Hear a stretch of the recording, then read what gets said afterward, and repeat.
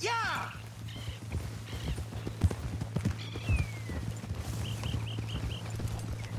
Stay alert there, Javier. Ah! I reckon you might be the most loyal of the lot of us. What else is there?